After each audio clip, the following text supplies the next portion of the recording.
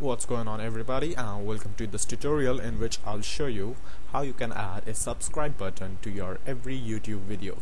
For example, I have a bunch of videos down here in the YouTube and I want to add a subscribe button to every of those videos automatically and in the future videos as well. So to do that, first of all, log into your YouTube account just like this. Now click on your icon, Creator Studio and then click on your channel down here.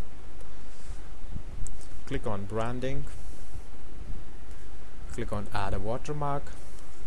Now choose a watermark and I have a file name sub.png which is a YouTube button a player button just like this.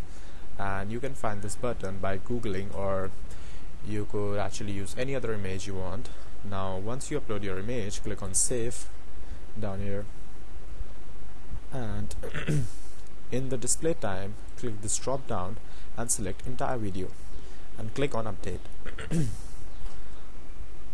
And you are good to go. Now if you want to view any of your video just go to your video manager. Click on any of your video and here you go. You have the subscribe button down here. Uh, once a visitor clicks on the subscribe button he is redirected to your channel and would be able to subscribe to your channel I'm not able to subscribe to my own channel obviously.